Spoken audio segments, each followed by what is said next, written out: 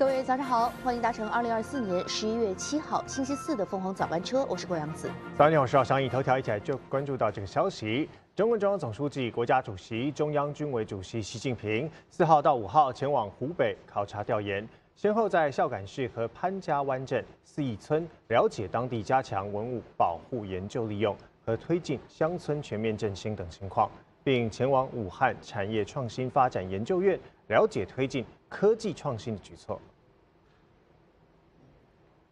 四号下午，习近平来到孝感市云梦县博物馆参观出土秦汉简牍展。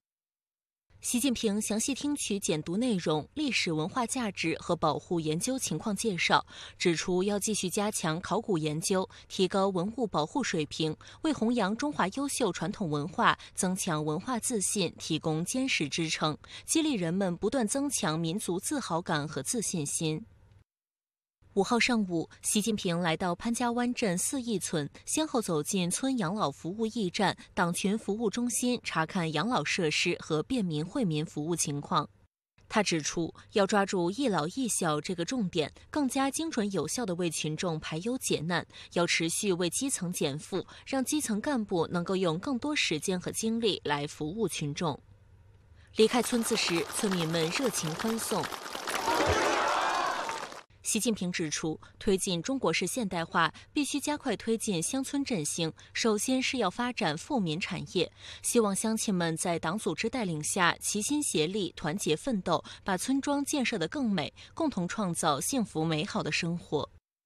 祝你们家庭幸福，身体健康，事业啊更上层楼。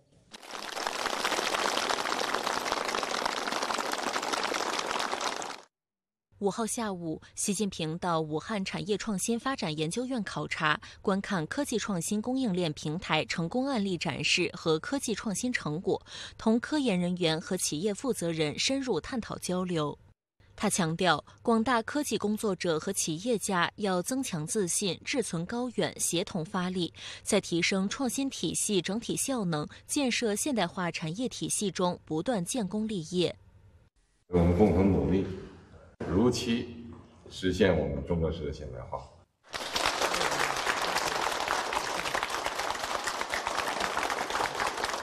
凤凰卫视综合报道：中共中央总书记、国家主席、中央军委主席习近平六号上午听取湖北省委和省政府工作汇报，对湖北各项工作取得的成绩给予肯定，对下一步工作提出明确要求。习近平指出，湖北科教人才优势突出，科技创新能力较强，要在推进科技创新和产业创新上开拓进取，主动融入全国创新链，努力打造具有全国影响力的科技创新高地，更好发挥科技创新策源功能。围绕重点产业，强化创新链、产业链、资金链、人才链融合，加强关键核心技术研发攻关，构建大中小企业协同创新机制，提升科技成果转化水平，把修复长江生态环境摆在压倒性位置，着力建设安全韧性现代水网，全面推进流域综合治理，坚定推进长江十年禁渔。习近平强调，湖北要在全面深化改革和扩大高水平开放上勇于探索，抓好重点领域和关键环节改革，坚持和落实两个毫不动摇，推动多种所有制经济相互促进、共同发展，深化内外贸一体化改革，积极参与高质量共建“一带一路”，系统提升开放枢纽功能。习近平指出，湖北要在城乡融合发展和乡村全面振兴上奋发有为，以武汉都市圈为中心，推进长江中游城市群联动发展，以县城为重要载体的新型城镇化建设，发展各具特色的县域经济，挖掘特色产业和多种经营潜力，提高农业发展质量和效益。习近平强调，湖北历史文化底蕴深厚，红色资源丰富，要在加强文化资源保护和推动文化创新发展上担当使命，打造精品文旅品牌和线路，把文化旅游业培育成为支柱产业。习近平指出，要紧紧围绕抓改革、促发展，加强党的建设，提振党员干部干事创业精气神，推进党纪学习教育常态化、长效化，持而不息，正风肃纪反腐，不断巩固发展风清气正的政治生态。习近平强调，今年剩下不到两个月时间，各项工作，特别是经济工作，要进一步抓紧抓实，努力实现全年经济社会发展目标。凤凰卫视综合报道。中共中央总书记、国家主席、中央军委主席习近平近日对社会工作作出重要指示，指出，社会工作是党和国家工作的重要组成部分，事关党长期执政和国家长治久安，事关社会和谐稳定和人民幸福安康。要坚定不移走中国特色社会主义社会治理之路，突出抓好新经济组织、新社会组织。新就业群体党的建设，推动新时代社会工作高质量发展。习近平指出，当前中国社会结构正在发生深刻变化，尤其是新兴领域迅速发展，新经济组织、新社会组织大量涌现，新就业群体规模持续扩大，社会工作面临新形势、新任务，必须展现新担当、新作为。要坚持以新时代中国特色社会主义思想为指导，全面贯彻党的二十大和二十届二中、三中全会精神，坚持以人民为中心，践行新时代党的群众路线，坚定不移走中国特色社会主义社会治理之路，健全社会工作体制机制。突出抓好新经济组织、新社会组织、新就业群体党的建设，不断增强党在新兴领域的号召力、凝聚力、影响力；抓好党建引领基层治理和基层政权建设，抓好凝聚服务群众工作，推动新时代社会工作高质量发展。习近平强调，做好社会工作是全党共同责任，各级党委党组要扛起政治责任，加强组织领导和统筹协调，确保党中央关于社会工作的决策部署落到实处。各地和有关部门要主动作为，协同联动，坚持管行业也要管党建，形成做好社会工作的强大合力。社会工作部门要加强自身建设，强化政治担当，勇于实践探索，扎实履职尽责，为以中国式现代化全面推进强国建设、民族复兴伟业作出新的贡献。凤凰卫视综合报道。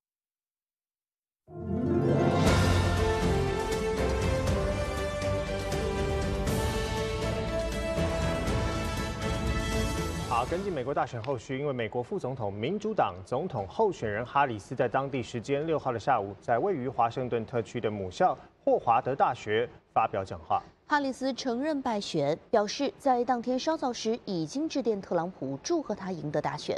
他在通话里还强调，将会完成权力的和平移交。But we must accept the results of this election.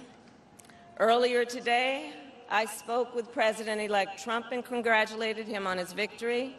I also told him that we will help him and his team with their transition and that we will engage in a peaceful transfer of power.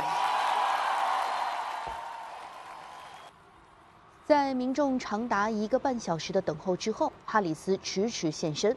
他首先感谢选民的支持，称美国承诺之光将永远闪耀。 哈里斯指出，虽然承认败选，但是自己不会认输，他将为美国人民的梦想、自由、权利而战，永不言弃。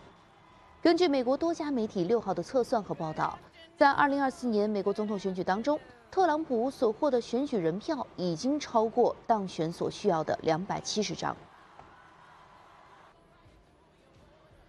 美国大选尘埃落定，哈里斯刚刚发表讲话，承认败选。那么最新消息，立刻连线给人就在华盛顿现场的本台记者曹杰。曹杰你好，姚子你好。嗯，现在呢，民主党支持者对于哈里斯承认败选之后都有哪些反应？包括美国国内，呃，对于特朗普再次入驻白宫有怎样的一个表态呢？是的，杨子，我注意到了挺多民主党的支持者啊，都是含泪的听完了哈里斯的这个败选演讲。在霍华德大学呢，还感觉到呢，哈里斯是带着一点点的哭腔呢，承认自己是落败。但同时呢，正如我们之前新闻中所提到的，他希望看到权力交接。但是有一个问题，就是其实他在整个的败选演讲当中，并没有承认自己的政策是不得多数选民的支持的。而这个也是这次美国大选多数选民选择。特朗普而不是哈里斯的一个关键原因。那除此之外呢？对于这次的大选的结果呢？其实哈里斯早前呢已经是来过一次霍华德大学了，但是在当天的点票当天呢，他并没有发表任何的讲话，也是受到了当时的这个选情的影响，受压很难。确保自己能够胜出，而在今天呢，他就发表这个讲话呢，也是呃，对于这面临这个现状呢，也是表示这个呃承认接受这个事实。那另外呢，这次的民主党呢，其实。其实不仅仅是哈里斯啊，本身呢是被特朗普击败。那目前来看，参众两院的情况呢，对于共和党呢也越来越有利。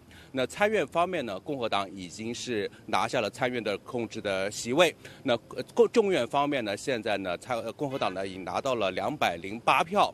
那只要拿到两百一十八票呢，共和党。就可以控制众议院。如果参院、众议院还有政府呢都被共和党控制的话呢，可以说特朗普代表的共和党呢，在未来的四年或者是更长的时间呢，将会主导美国的政坛。那这不仅仅对于哈里斯还有拜登呃来说呢，这民主党来说呢，是一个一很大的一个打击。那对于美国、对于全球的这个甚至的局势来说呢，也是需需要值得长期关注的一个现象。这样子。嗯，好的，了解。也谢谢曹杰在前方带回来的最新消息。据美国总统拜登在六号也致电共和党总统候选人特朗普，祝贺他赢得美国大选。拜登并邀请特朗普来到白宫商讨交接安排。而民主党总统候选人哈里斯也正式承认败选，并且致电祝贺对手特朗普当选。当地时间六号，美国总统拜登致电共和党总统候选人特朗普，祝贺他在刚刚结束的大选中获胜，并邀请特朗普到白宫商讨权力交接事宜。白宫表示，工作人员将在不久的将来协调日期。另据美媒报道，拜登计划于七号就选举结果发表讲话。此外，拜登也已同现任副总统、民主党总统候选人哈里斯通话，肯定其竞选团队的工作。在大选中落败的哈里斯也于当地时间六号正式承认败选，并致电祝贺对手特朗普当选。消息指，两人之间的通话时长数分钟。哈里斯的助手指，哈里斯与特朗普谈及了和平移交权力以及成为所有美国人的总统的重要性。特朗普在竞选期间两度遭遇暗杀。美国有线电视新闻网六号引述执法官员报道，随着拜登政府和特朗普政府将在未来几个月进行过渡，美国特勤局将在未来几天开始保护特朗普的直系亲属。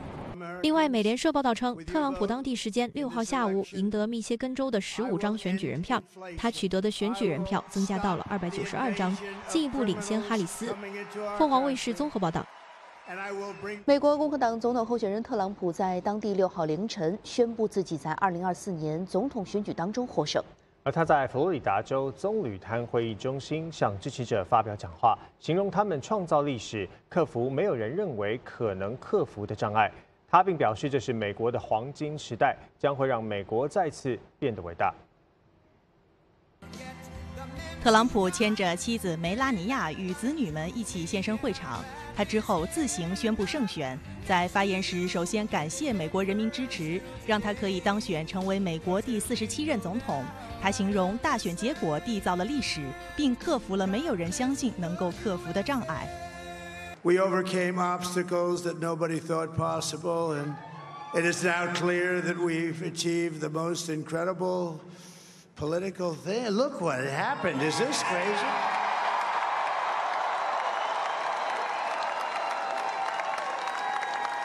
But it's a political victory that our country has never seen before, nothing like this. I want to thank the American people for the extraordinary honor of being elected your 47th president and your 45th president. This will truly be the golden age of America. That's what we have to have. This is a magnificent victory for the American people that will allow us to make America great again. Oh, 特朗普并表示，美国非常迫切地需要帮助，而他将会帮助国家弥补分歧。他同时扬言会封锁边境，强调移民的流入必须合法。特朗普并提到遭遇枪击事件，形容他幸存下来是有原因的。Many people have told me that God spared my life for a reason.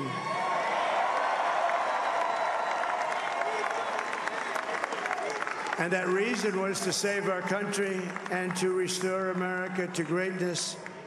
And now we are going to fulfill that mission together. We're going to fulfill that mission.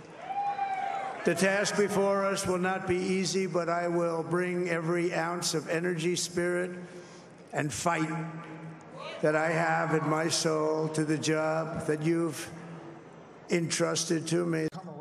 特朗普并称会遵循简单的座右铭，也就是做出承诺、信守承诺，呼吁全国人民抛开过去四年的分歧，团结起来。他表明不会让美国人民失望，强调美国的未来将比过去更好、更富有、更安全、更强大。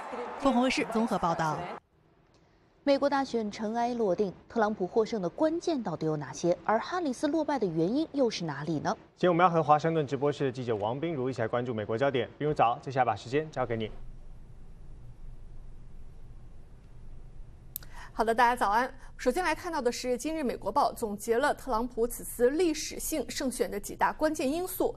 首先就是经济，选民对美国的现状极为不满，特别是高通胀、生活成本大幅增加，成为了美国选民最为关心的议题。因此，无论你喜不喜欢特朗普，不满现状的选民都会因为对生活、工作的不满来惩罚执政党。根据出口民调，在处理经济议题上，有百分之七十九的选民支持特朗普，哈里斯只有百分之二十。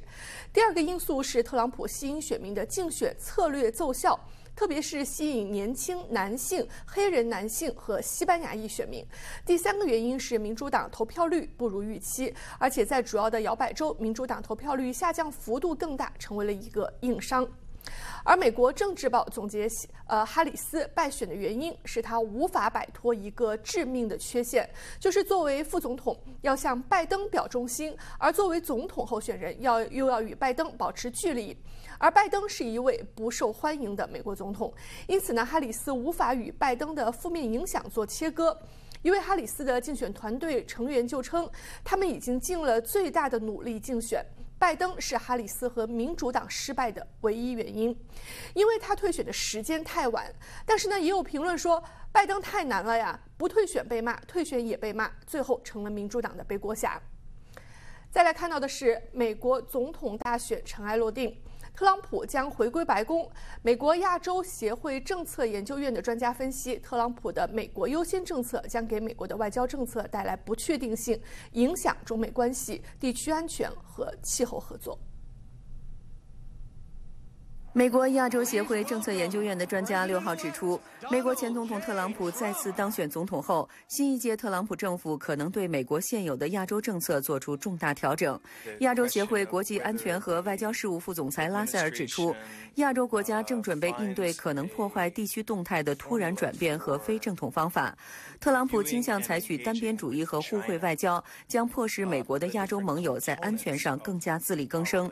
他表示，特朗普的政策导向。可能意味着美国与亚洲的战略合作将转向更多的互惠交易，美方的支持将更依赖于投资回报的评估。美中关系方面，特朗普的回归可能意味着对华加征关税、实施更严格的贸易条款以及对中国技术的限制，这将带来高风险的经济博弈。亚洲协会政策研究院副主席卡特勒指出，美国在亚洲的贸易伙伴需要为美国再度聚焦贸易失衡和征收关税做好准备。各国将不得不决定如何最佳应对：是谈判解决，还是采取报复措施？这将考验美国与许多亚洲伙伴的关系。台湾问题上，专家认为，如果特朗普延续第一届政府的政策，其主要政治顾问将愿意接受更大的升级或冲突风险。这一立场可能促使亚洲盟友采取观望态度，加强区域合作以对冲风险。气候政策方面，特朗普的回归可能使美中气候合作面临中断，甚至重现美国再次退出巴黎协定、削减国际气候资金。这一转变将对亚洲产生连锁反应。随着美国领导地位的减弱，可能迫使日本、韩国等国家加强自己的承诺，转向欧盟寻求合作。专家指出，特朗普的回归预示着美国外交政策的一个不确定时代。亚洲国家需要采取冷静的应对策略。防卫是郭晶晶、李占清，洛杉矶报道。以上就是今天美国站的关注焦点。现在把时间交还给香港。好，再谢冰如。接下关注是中国外交部周三的晚间就美国总统选举结果答记者问。对于共和党候选人特朗普在美国大选当中当选，中国外交部发言人表示，中方尊重美国人民的选择，对特朗普当选总统表示祝贺。而对于特朗普在大选当中获胜，将再次入主白宫，中国外交部发言人毛宁在六号下午的记者会回应强调。中方按照相互尊重、和平共处、合作共赢的原则看待和处理中美关系。有多位的美国问题学者就表示，特朗普就任之后，中美关系可能会出现新的波折，也需要更加谨慎的处理。美国大选并没有如民调结果所预期出现严重胶着状态，而在大部分摇摆州，共和党候选人特朗普都处于领先状态。北京时间六号下午三点前，大选结果轮廓出现，特朗普有望再次入主白宫。在三点钟的中国外交部例行记者会上，发言人毛宁回应美国大选结果表示，中方处理中美关系立场一贯。美国的总统选举是美国的内政，我们尊重美国人民的选择。呃，关于你提到的这个关税哈，我们不回答假设性的问题。我们对美国的政策是一以贯之的，我们将继续按照相互尊重、和平共处、合作共赢的原则看待和处理中美关系。对于特朗普再次当选，在北京多位美国问题的专家都向记者表示，并不意外。总体上，美国社会右倾化、保守化趋势明显，并且在未来一个较长周期内都会持续。对于未来的中美关系，多位学者都表示将会经历新的波折。我认为啊，个人认为，它真的是无底线啊，属于这个呃，而且是反复无常。当他的性格非常突出，而且呢非常爱虚荣，都觉得自己很好啊，这种心理状态。所以呢，我觉得他是为达目的是不择手段的。他身边的人的确不少啊，相当多的人，除了除了没有表态的，表态凡是表态过的对华都很强硬的。有的可能在经贸问题上，有的可能在地缘上，有的在军事上，啊，他反正是这样人比比皆是。我们从他的第一任啊这个总统任期当中也能看得到。啊，所以说内部的政策是比较混乱的，他个人的意志是比较大的。中美之间的经济相互依赖的关系，啊，中美作为两个啊全球啊最大的两个经济体，啊地区当中的啊重要的两个国家，哎，这个会约束啊他对中国的啊政策，可能想推动脱钩，但是，美国也遭受啊非常大的代价。虽然也有观点认为，特朗普相较于哈里斯更容易进行谈判，多位国际关系学者都强调，如果直接从交易的角度去处理与特朗普政府的关系，很容易造成特朗普的狮子大开口。中方需要在与美国的对话中，将红线画得更加明确、清晰、严格。凤凰卫视霍伟伟、刘家浩北京报道。美国共和党总统候选人特朗普赢得大选，多国及国际组织领导人纷纷回应。以色列总理内塔尼亚胡六号与特朗普通电话，祝贺他在大选中获胜。以色列官方声明指，通话气氛热情且诚恳，两人讨论了来自伊朗的威胁以及为以色列安保共同努力的重要性。以方并指出，内塔尼亚胡是最先致电特朗普的外国领导人之一。沙特国王萨勒曼以及王储兼首相穆罕默德六号也向特朗普致贺电。萨勒曼表示，沙特和美国的关系密切，各方正寻求在各个领域加强和发展这种关系。穆罕默德则表示，希望加强与美国的战略关系。卡塔尔埃米尔塔米姆表示，期待再次与特朗普共同努力，促进区域和全球安全稳定。特朗普在竞选时曾多次扬言会严厉打击经墨西哥偷渡到美国的非法移民，甚至扬言向墨西哥商品加征关税。墨西哥总统辛鲍姆六号谨慎回应美国大选，表示会等待官方结果正式出炉。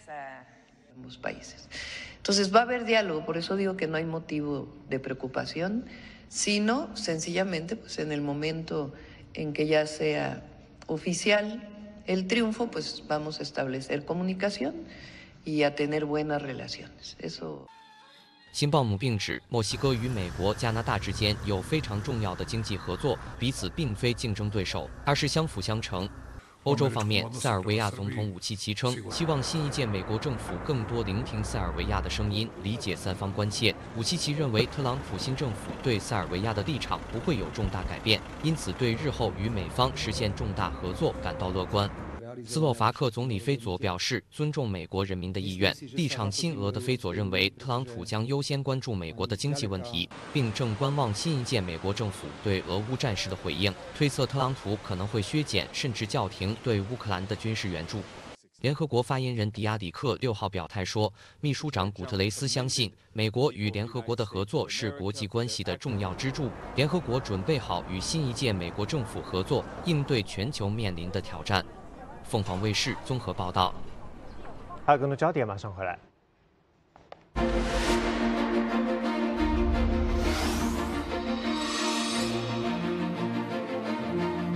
接下来我们要看到是针对美国新一届的总统选举结果，俄罗斯官方很快做出回应称，俄美关系不会进一步的恶化，但是俄乌冲突也不会在一夜之间就结束。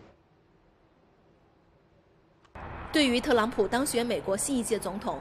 克宫发言人佩斯科夫当天就对媒体表示，目前他还不知道普京是否计划祝贺特朗普在美国大选中获胜，但是俄罗斯正在仔细监控来自华盛顿方面的所有信息以及分析。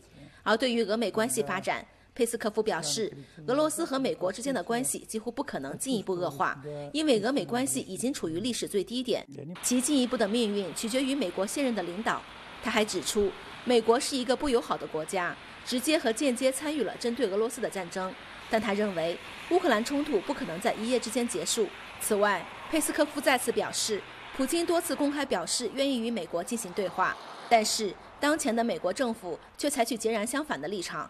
同时，美国也有能力改变对乌克兰的外交政策，帮助结束俄乌冲突。至于美国的立场是否会改变，需要等到明年一月份后才知道。而当天。俄罗斯多个媒体都刊登出普京和特朗普早前会谈时的照片。佩斯科夫表示，俄罗斯政界人士对特朗普获胜的乐观反应，源自于他在国际舞台上所传达的和平愿望。俄罗斯社交舆论认为，特朗普当选总统后不一定会快速结束乌克兰冲突，但是俄美关系应该会有所改善。但无论是谁当选美国总统，美国仍旧是俄罗斯这个国家外部安全的主要风险。凤凰卫视尹力莫斯科报道。乌克兰总统泽连斯基在特朗普胜选之后，第一时间在推特上发文表示祝贺，期待有机会亲自祝贺特朗普总统，并且讨论如何加强乌克兰与美国的战略伙伴关系。特朗普当选将会给在战争当中本就十分艰难的乌克兰带来更多的不确定性。特朗普在竞选中多次对俄乌战争表态。如果他当选总统，将在二十四小时内停止乌克兰战争，美国不会再为乌克兰提供战争援助，美国将在谈判后退出乌克兰战争等不利于乌克兰的言论。虽然特朗普当选并不是乌克兰所想看到的，但泽连斯基还是第一时间表示了祝贺。泽连斯基表示，赞赏特朗普总统致力于通过实力实现和平的全球事务方针。正是这一原则，才能真正让乌克兰更加接近公正的和平。希望能共同落实，期待美国两党对乌克兰进一步强有力支持。乌克兰有兴趣发展互利的政治和经济合作，使两国受益。乌克兰作为欧洲最强大的军事国家之一，在盟友的支持下，努力确保欧洲和跨大西洋社会的长期和平与安全。特朗普在竞选中还曾表示，他有结束乌克兰战争的计划。但他从未透露细节。乌克兰方面认为，特朗普的计划是冻结战争，在边界两侧建立自治区和非军事区，乌克兰也不能加入北约。但乌克兰媒体普遍认为，特朗普当选，乌克兰将面临众多风险和威胁。这些风险和威胁是特朗普本人提出的，同时也认为泽连斯基能够将特朗普拉到自己一边。英国前首相约翰逊表示，特朗普不会允许乌克兰失败。因为这将是一场绝对性的灾难，特朗普很清楚这一点。凤凰卫视特约记者李向，基辅报道。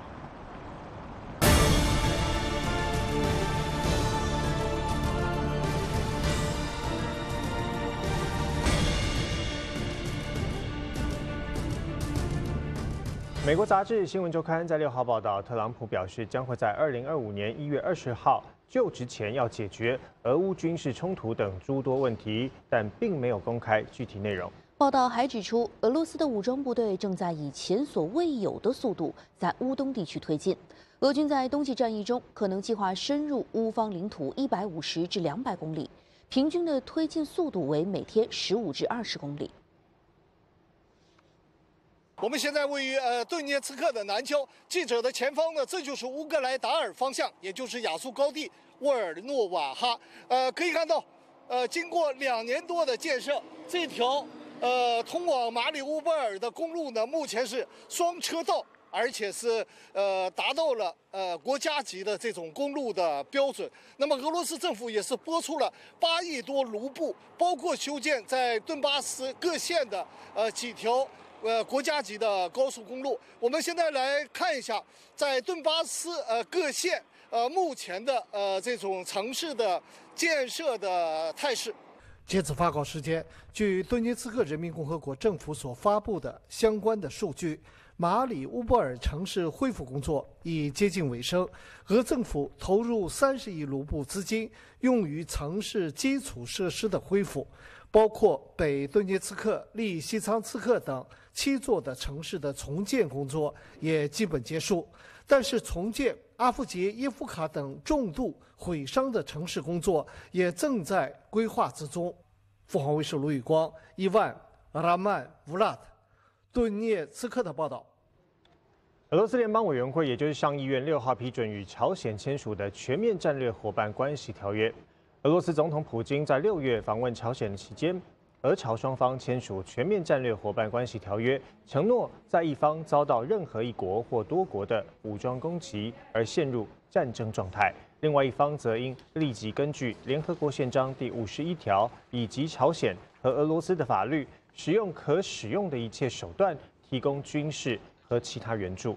乌克兰、美国和韩国近日指出，约有一万名的朝鲜士兵目前在俄罗斯的库尔斯克。乌克兰军队占领这个地区的部分边境领土。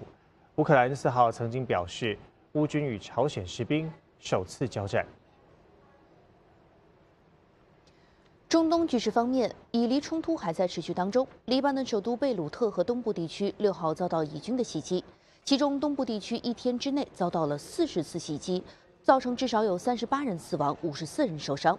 而被解雇的以色列国防部长加兰特六号在告别会上表示，以军必须扩大规模，以应对当前和未来的挑战。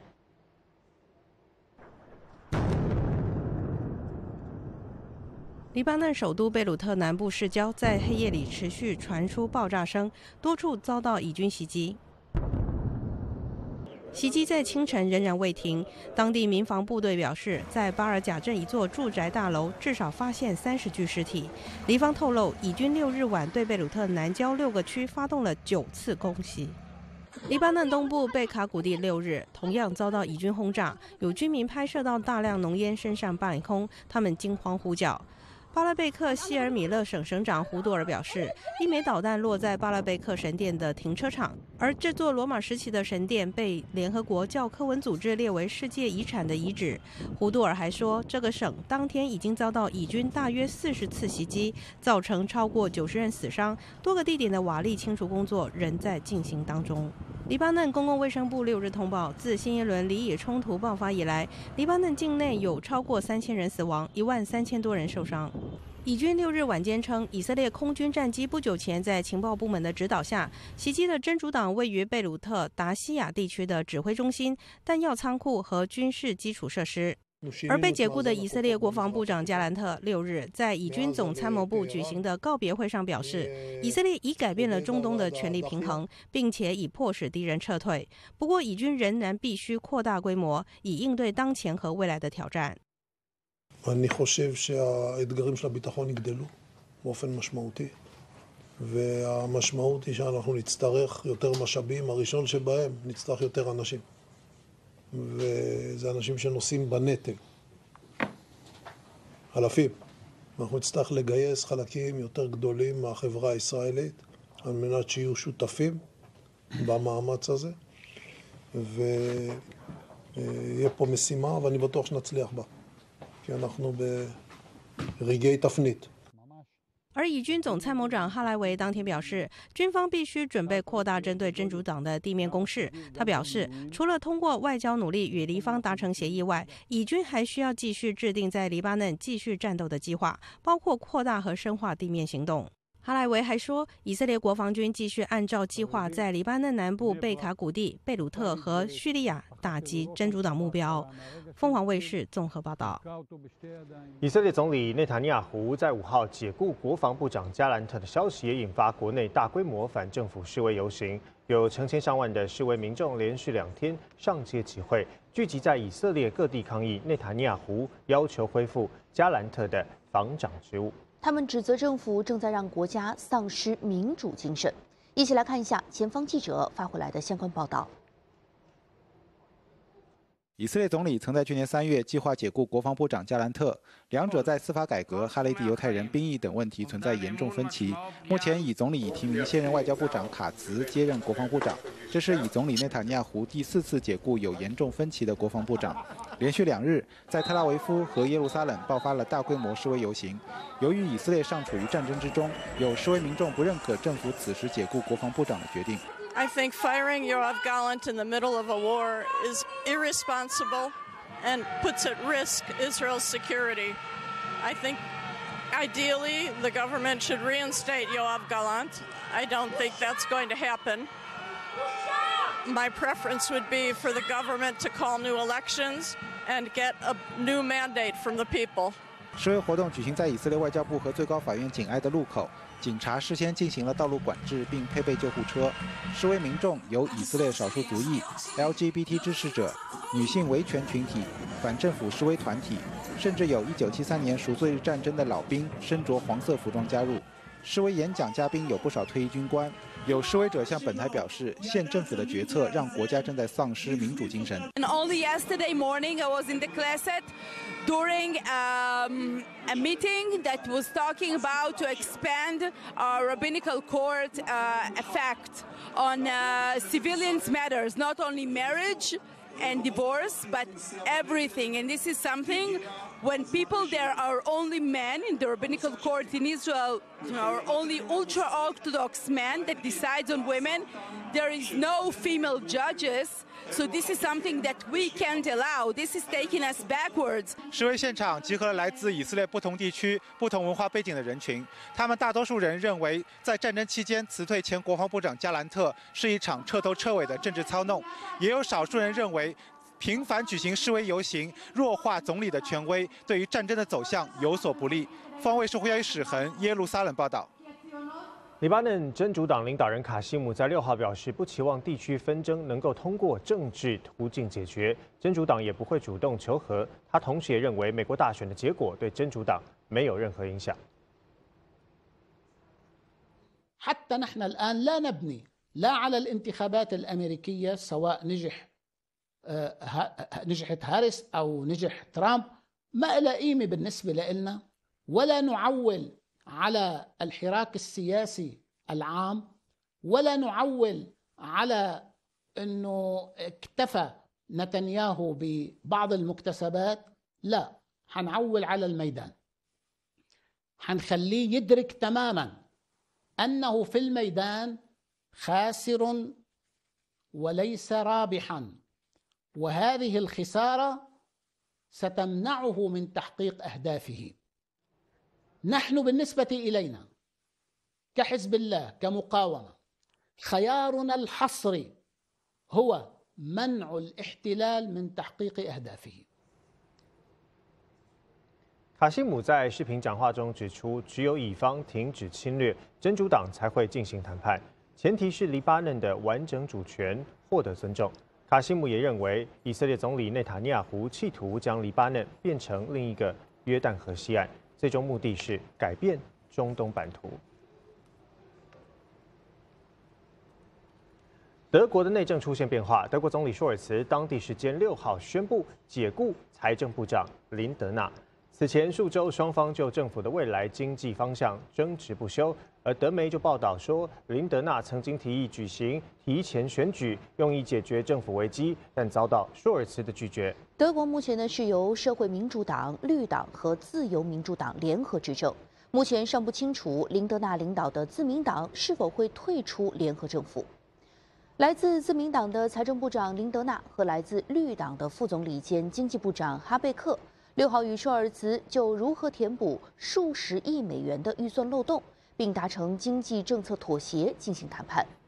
路透社的消息就称，若三党联盟瓦解，将会导致舒尔茨依赖议会临时多数执政，或是引发提前选举。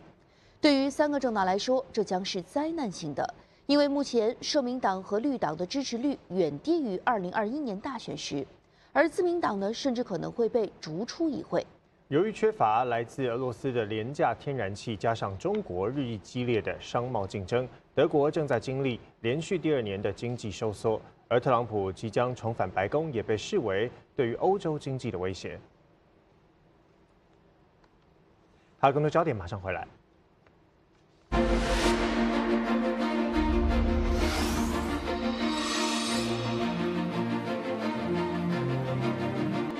欢迎回来。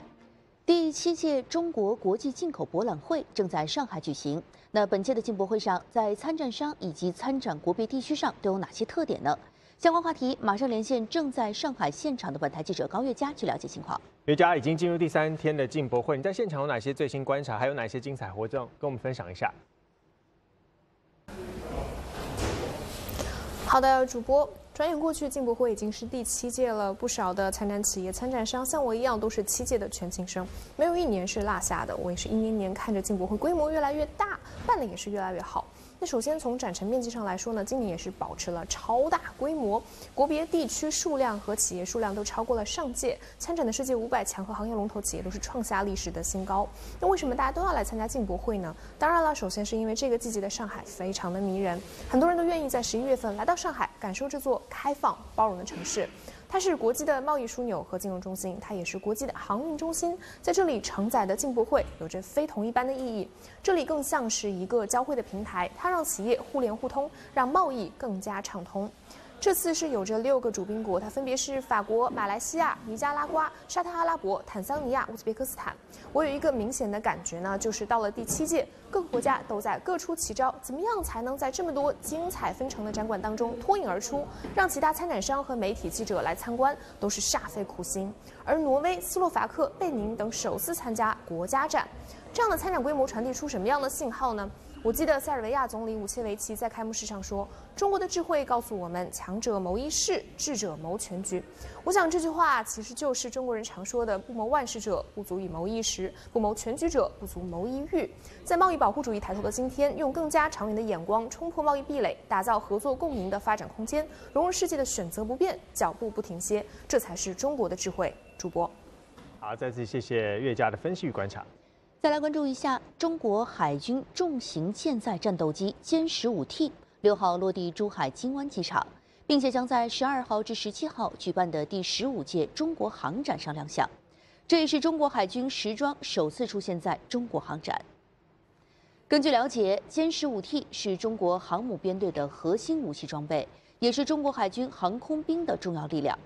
歼十五 T 飞机在航电系统和平台性能上进行了新的提升。是歼十五飞机最新的改进型。歼十五是中国自主研制的第一型舰载多用途战斗机。二零零九年，最早的歼十五飞鲨舰载战斗机在辽宁沈阳成功首飞。目前，歼十五已经成长为中国海军舰载航空兵部队的中坚力量。香港电台有一个报道，澳门新增了一宗本地登革热感染个案。而这也是澳门今年第七宗本地个案。澳门卫生局晚上就公布新增的患者是一名七十四岁的女子，她住在沙梨头石墙街，在本月的二号出现发热就医之后，两天后全身肌肉酸痛，并且入院治疗，经过血液化验之后确诊。由于她呢最近两个礼拜都没有外出旅游的记录，所以列为了本地个案。但是这与近日沙兰仔附近发现的本地个案无关。对于沙兰仔附近发现本地登革热的个案，澳门卫生局已经采取应对工作。日前已经发现了第四例以及第五例的本地个案。另外六名疑似患者经过检测之后，已经排除受感染。同一地区暂时没有新增的个案。那么，随着内地区域性入境免签、过境免签政策持续优化，有多项便利性的通关措施相继的推行，深港口岸出入境的人员数量不断的攀升。而数据也显示，截至十一月六号的十一点钟，深圳的出入境边检总站今年查验出入境的人员已经超突破两亿人次。截至十一月六日早上十一时，深圳出入境边检总站今年查验出入境人员已突破两亿人次，较去年同期增长百分之五十三点二。据统计，今年经深圳、汕头等口岸入境的外国人超二百二十一万人次，较去年同期增长超一倍。其中，来华旅游、商贸人员分别占比百分之三十四点二、百分之十七点八。为保障口岸通关高效顺畅，深圳边检总站联动港澳相关职能部门，优化查验流程，人均查验效率提速百分之二十八点五。据悉，深圳边检总站日均查验出入境人员数量年内以十次突破全面复关以来新高，最高达九十七点七万人次。凤凰卫视综合报道。稍后回来一起关注一下财经方面的消息，一会儿见。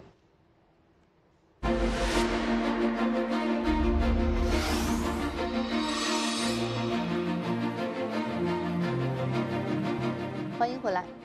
代表共和党的特朗普赢得美国总统大选，也刺激了美股周三全线大涨，三大指数都创下了历史新高。美国国债收益率也显著上升，美元汇价也飙升到四个月的高位，虚拟货币比特币同样破顶，站上七万六千美元上方。包括贵金属和能源等的商品价格则普遍下跌。美国总统大选结束，被视为亲商界的共和党候选人特朗普重新入主白宫。